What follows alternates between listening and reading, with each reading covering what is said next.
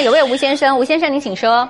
哎，你好，是那个全国的那个，尤其台北市的观众，你们哦，看到我们台南市赖清德哦，你们也不要对柯文哲有太多的指望，因为哦，他柯文哲或者是赖清德，他其实也是受到其他人的那种控制，他根本没有办法真正的做事，所以哈才会变成这种状况。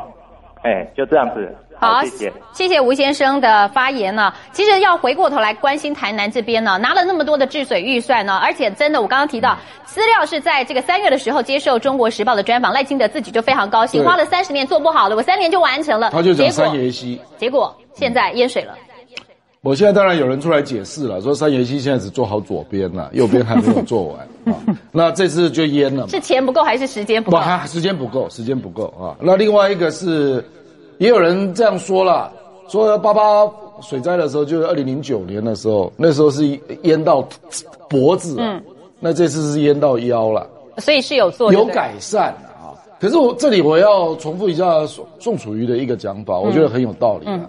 因为我们那个时候动省嘛，那省本来是做各县市的协调工作的，那结果省不见了，那中央又接不上，那结果呢？你现在把县市合并嘛，因为台南市、高雄市都是县市合并，那县跟市的协调其实本来就做得很差的，因为以前都是省府在做这件事，所以我觉得这你可以看到很多，事实上包括台中也一样啊，那个台中市要去附和台中县，台南市要去附和台南县，这个有很多界面都做得不好了，嗯，所以我觉得这个你如果从长一点看是有一些后遗症，不过我还是总体讲，我觉得赖清德他做的治水还是做的比高雄市好了。不过高雄市这一次的问题，尤其是这个灾区附近的那些地方的淹水啊，我就不讲男子了，我是觉得相当离谱。嗯哼。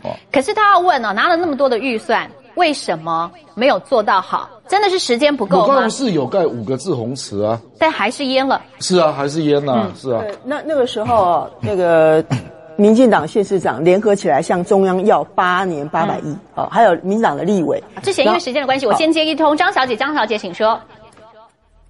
张小姐，您在线上了，对，好，是哎，你好哈，哎，我是说，本来在那个国民党的党区的的灾区的话，哈，民进党都会很会骂。那为什么这一次郭哎高雄跟台南发生这么大的问题，好像都没有看到他们民进党出来提供意见，还是说哎什么问题这样子都没有人出来骂？出来骂。哎，声音都很少，声音太少了，而且我哎我本身就是九二一受灾户啦哈、是那刚才你们有提到说他们灾户到现在没有拿到钱，其实我跟你们讲，我到现在都没有拿到任何一个一毛钱的什么灾户钱。我是九二一全岛新房子全岛的灾户，那我到现在一毛钱都没有收到，我们是收到二十万的。只有收到二十万的灾款，那个什么全岛还有半岛，再来就是我们的租金三万六，就这样子而已，其他全部都没有的。嗯哼，好、所以我觉得说灾难来的时候，不要是财团赚钱的时候好，谢谢张很多财团会赚到钱。是，谢谢张小姐。其实另外一个九二一的问题，或许我们下次可以专题来讨论，因为已经不是第一位了。昨天还前天也有一位，他们都只拿到很奇怪九二一基万。金会有一百三十亿耶，是二十万之后就没了，之后我们后续再来讨论了。不过先先回归来了，来关心刚刚这一位民众所问的，我们还是先请郭教授，为什么没有听到蓝绿营的声音呢？